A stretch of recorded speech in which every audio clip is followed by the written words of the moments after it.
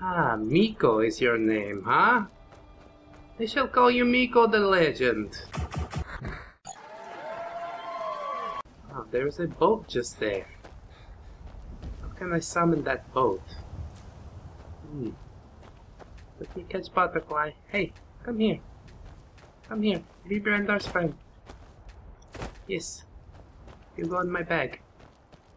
That's a very nice place for you, yes. Ah, solitude, so close but so far, hmm? Well, let us have a look in this cabin. Oh. I hear dogs. Hello there. He's a friendly dog, is he not? Might I enter your home? Okay. Everything seems fine here. Let's have a look at this uh, fellow's journal. Well, after all my years living in these woods, it looks like the rock joint will finally be the end of me. I guess that's fine. All my friends are long dead. The only one left is poor Miko. He was always a loyal companion. I know he'll be able to take care of himself. I hope someday I'll see him again. Hmm, this fellow seems to have died of rock joint, hmm? Nothing useful on him. I'd better stay away from the corpse as well. You all alone out here, dog? Only some rabbits to eat? Or do you eat carrots and leeks as well, hmm? Talk to me. Tell me something. Is that so? You want to come with your friend Bran'dar? Hmm, okay. You can you can come with me if you want. It's uh, a bit of an unlikely pair, I do suppose, but uh, you're more than welcome to join Bran'dar on his quest to nowhere. Oh, look. He is coming, friends. Well, I hope you uh, won't get in the way too much. And I also uh, must teach you at least one command. Do you know shut up? No. Shut up. Good. Very good. That is uh, going to get you far with Bran'dar. You simply must know your place, you see? Piece of cake. Ah, Meeko is your name, huh? I shall call you Meeko the Legend. Yes. This is quite nice, I think. Befitting a dog of your stature, hmm? ah, we've got so many friends now. I only hope that you will not run away like Richard tends to do, huh? Yes. You're friends with Bran'dar now. We are a big happy family. A bit of a, an odd couple, if I do say so, but a family nonetheless, huh? I like it. Would you help me in combat, Meeko? Hmm, let us see how you do.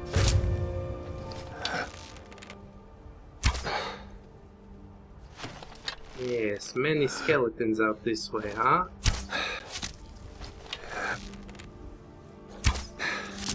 Yes, keep them distracted. Oh my. Where did this come from? There's quite some aim they have there. Where have you gone, Meeko? Oh my. He's going to get me into trouble, isn't he? My goodness. Oh, you okay? Look at that, he's got an arrow. That's not good. Yes, bite her. Bite her in the legs. Very good. ah. I should uh, probably wait just a bit before exploring this place. Simply wanted to clear out the necromancers. You did know it, did you not? Good boy. He's uh, a nice distraction. I will give him that much. What true value he might have, hmm, we shall see. We shall truly see. But I rather like the work that he is able to do for Bran'dar thus far. ah. I've been offloading some books. Here, you can hold that. It will keep you company in the afterlife. ah, wondrous well. Oh, look at that. He likes bones, he does. Good boy. Yes. Take care of the bones. Oh my. They are everywhere here. Good boy, Meeko. What a job you've done, huh? Oh, I'm so sorry, Meeko. I think I put an arrow into his back. Maybe he thinks it was the other fellow. Let's not correct him on that, hmm? and where's this sneaky fellow with the arrows? Nico! Nico, you want bone? You want bone? ah, good boy. Okay, wait here.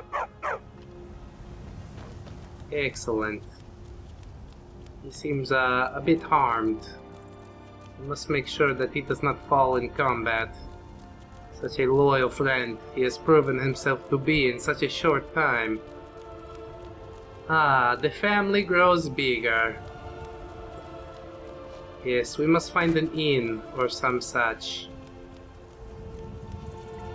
Hello there. Come with.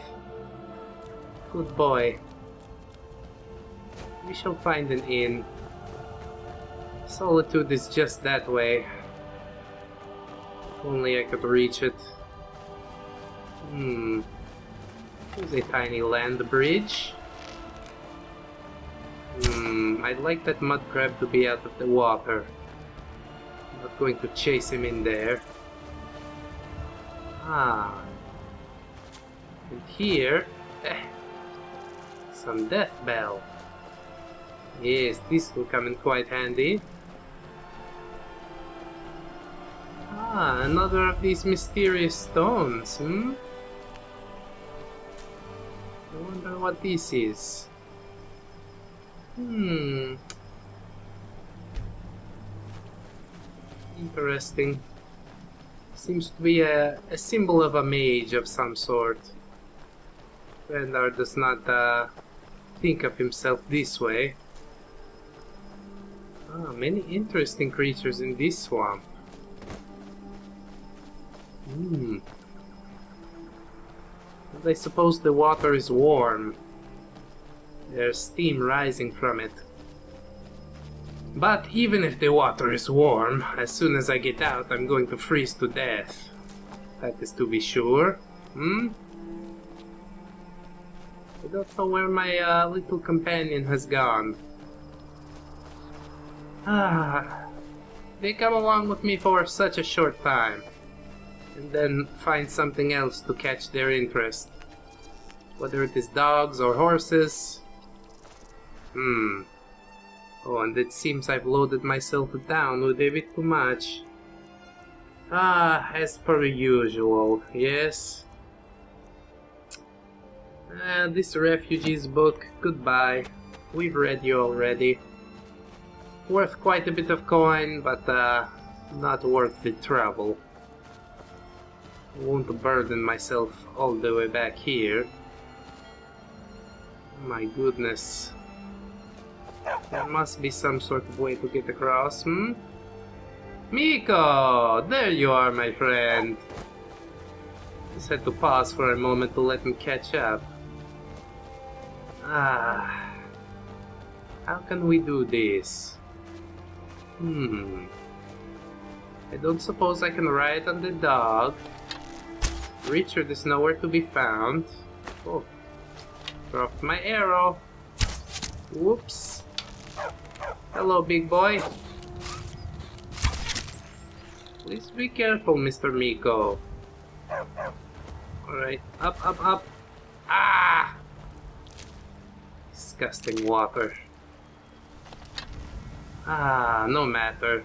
I suppose I could swim through it, warm myself up immediately at an inn. It wouldn't be uh, so bad, perhaps. Ah, reach, stretch. Ah, and a silver ring.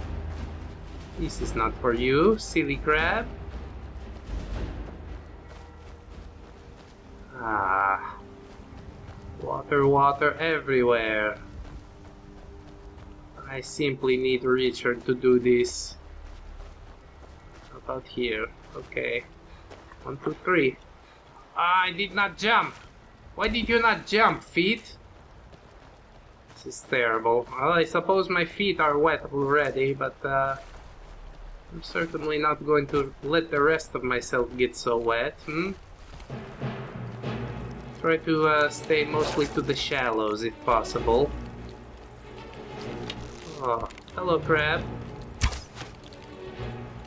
You have a you have a coral brandar? Oh, that is not a crab. What is that? I've never seen such a thing. We must inspect. Inspect a little further. Hmm. It certainly has an exoskeleton like a crab, but uh, it is quite different, hmm? Perhaps I take some of this. I might ask around if somebody knows. that is if I could ever make it to the town. Ah! ah. The legs just not working the way they used to, huh? Ah tired of slogging through all this water. Simply need a bridge. Is that so hard to build a bridge? Apparently so. We lack a lot of them around here. I should not have crossed this way in the first place on the bridge that I was able to find, hmm? Ah. Gross. I don't like it. Ah, it's better than the water that uh, falls upon my head, though. I do suppose. I'll count my blessings, hmm? Ah. No rocks to jump across, no bridge whatsoever. Seems Bran'dar is lost in the wilderness. Civilization just over the, the next hill, but Unable to reach it thus far. Ah, there. You might uh, be able to reach this rock, hmm? The feet already wet. About this. Ah! Just a little more. okay. There we go. Eat some nice mushrooms. A little bit of that infamous Nirn root. Oh my. We are stuck here. Look at this mud crab eat a fox. Have you ever seen such a thing, friends? Amazing. How's that? ah. And my arrow floats down the river. I might like to fetch it in a way. Ah. How did you get here, Meeko? You swim? You you like the the water? Ah. What is this? Beacon of light. So many strange things in this land. I guess Bran'dar must swim for it. Come this far. Do see a bridge there. Ah. Around the round we go. Ah, ah, ah. Ah, ah, ah, ah. Okay. I would like to warm my feet just a little bit. I see a fire. I think that's the fire they told me to get away from earlier. Oh, what a big circle we've gone in. But at least we met our new friend Meeko, hmm? It is at least a little positive. A little bit of something to come out of all this trouble. Ah. He has proven himself worthy. Bran'dar, however, has not. His feet have failed him today on multiple occasions. What a shame that is, hmm? Oh, this lady. Might you share your fire with Bran'dar? What's that? So sorry this had to happen. Ah. Indeed, not much fire here at all. A few candles. But I suppose it is enough, hmm? Good boy, Meeko. You wait while Daddy reads some potions, hmm? Make just a little bit potions for us. You might need this. You never know, hmm? Restore health, always the best.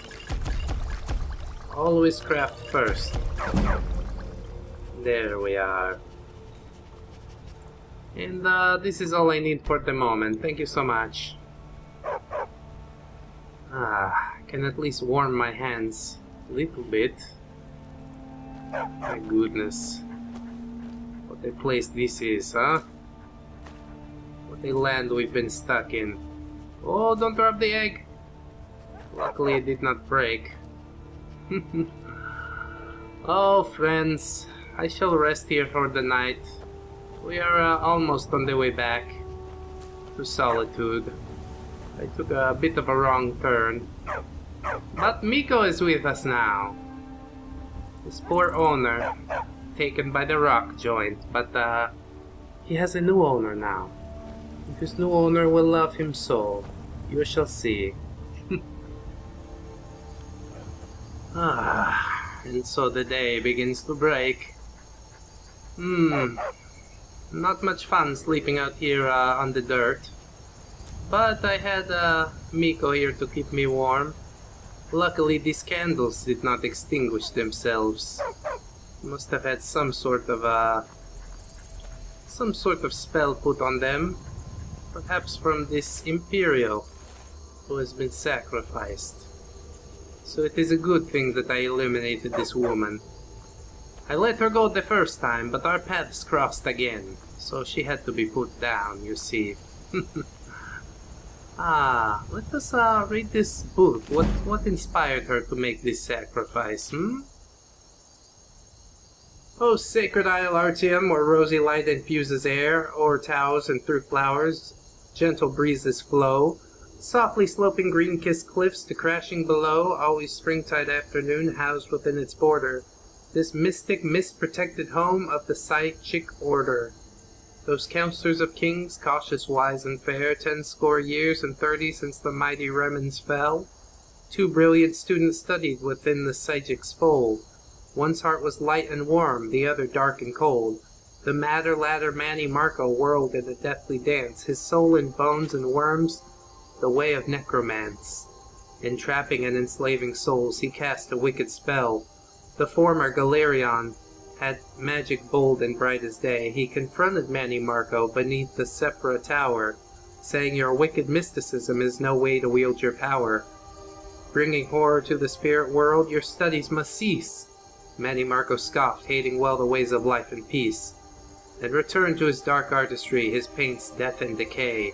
O sacred Isle Artaeum, how slow to perceive thy threat, when the ghastly truth revealed how weak the punishment. The ghoulish Mannimarco, from the Isle of the Wise was sent.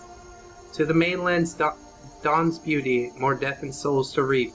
You found a wolf and sent the beast to the flocks of sheep. Galerion told his masters, a terror, a terror on Tamriel has been set. Speak no more of him, the sage cloaks of grey did say. 'Twas not the first time Galerion thought his masters callous, unconcerned for men and mer, aloof in their island palace. 'Twas not the first time Galerion thought 'twas the time to build a new order to bring true magic to all, a mighty mage's guild. But 'twas the time he left, at last fair Artaeum's azure bay, Oh, but sung we have the have of Vanus Galerion many times before. How cast he off the Psijic's chains, bringing magic to the land? Throughout the years he saw the touch of Mannimarco's hand. Through Tamriel's deserts, forests, towns, mountains, and seas, the dark grip stretching out like some dread disease. By his nec- dark necromancers collecting cursed artifacts of yore, they brought to him these tools, mad wizards and witches, and brought blood-tainted herbs and oils to his cave of sin, sweet Akaviri poison, dust from saints, sheafs of human skin, toadstools, roots, and much more cluttered his alchemical shelf. Like a spider in his web, he sucked all their power into himself. Mannimarco, Worm King, world's first of the undying liches. Corruption on corruption, till the rot sunk to his very core.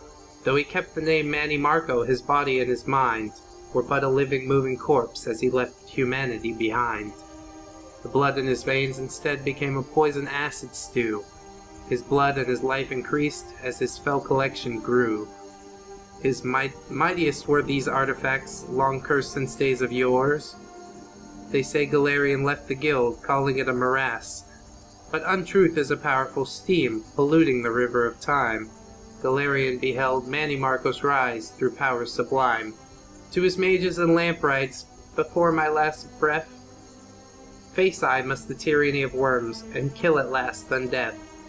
He led them north to cursed lands, to a mountain pass.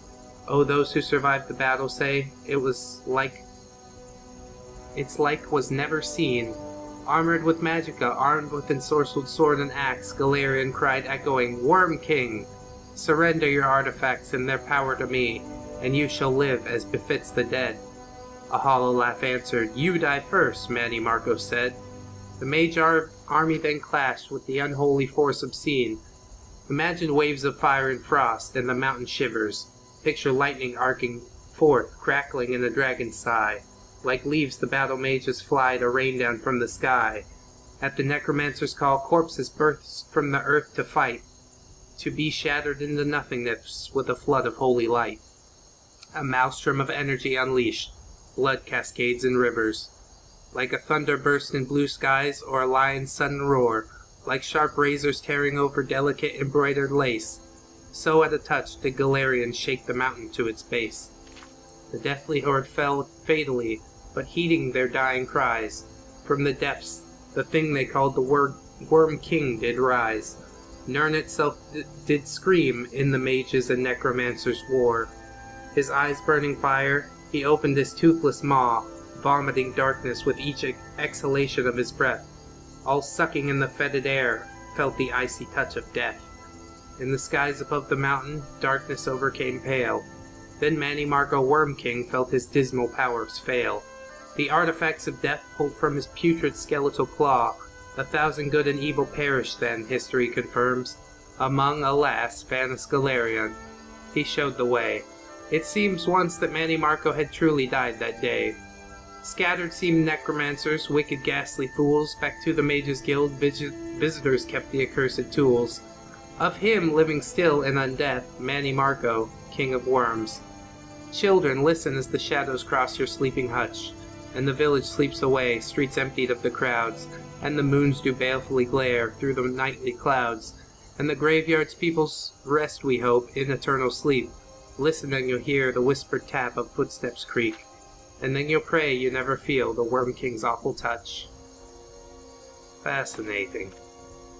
So she was uh, performing a bit of necromancy in the footsteps of the Worm King, Mr. Mannimarco. And incidentally, we learn a bit more about Galerion as well. I've heard this name a few times before. That butterfly, he's sneaky. hmm. Interesting. Interesting. The Mages Guild does uh, cast out necromancers, and I suppose for a good reason, yes? Quite a battle was had that day, apparently. It was a thing that Bran'dar had never heard about, uh, not being one so interested in the magical arts.